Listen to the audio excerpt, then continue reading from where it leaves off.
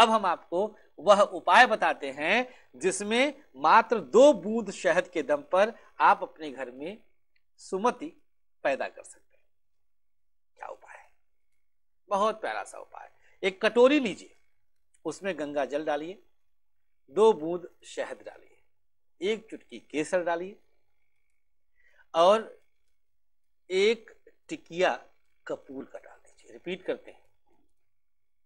कटोरी में गंगा जल, दो बूंद शहद, कपूर की एक टिकिया, थोड़ा सा केसर डाल दीजिए।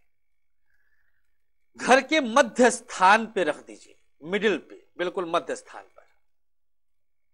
इसके बाद दो तुलसी की पत्ती इसमें डाल दीजिएगा और धीरे से कपूर निकाल करके अब जला दीजिए, सूखने के बाद, सुखाने के बाद, थोड़ी देर में।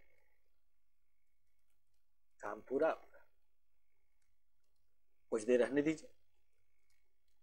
इसके बाद इसे अपने पूरे घर में दूरवा से छिड़क दीजिए और जो बचा हुआ जल है, उसे आप तुलसी के पौधे में डाल दीजिए।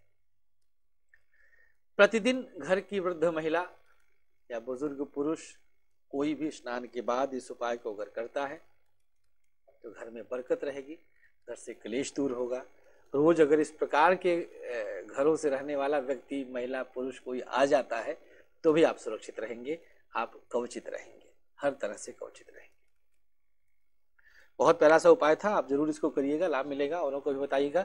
यूट्यूब चैनल को हमारे ज़रूर सब्सक्राइब करें, वीडियो देखने के बाद सब्सक्राइब करने का एक डायरेक्ट एडवांटेज आपको ये मिलता है कि जब भी हम कोई नया वीडियो डालेंगे तो आपको तत्काल पता चल जाएगा। जैसे आजकल हम डेली एक वीडियो डालते हैं। अच्छा अगर आपने नहीं देखा है तो एक वीडियो सर्च करिएगा अभी। हमने अभी थोड़ी देर पहले एक वीडियो डाला था जिसमें हमने बताया था कि कर्क राशि की महिलाओं को क्या नहीं करना चाहिए। करती हैं तो क्या हो सकता है? वीडियो देखिएगा। थोड़ी देर में आप यूट्यूब पर ही अभी। हमें अनुमति दीजिएगा। खुश रहें, प्रसन्न रहें। नमस्कार, श्री राधे।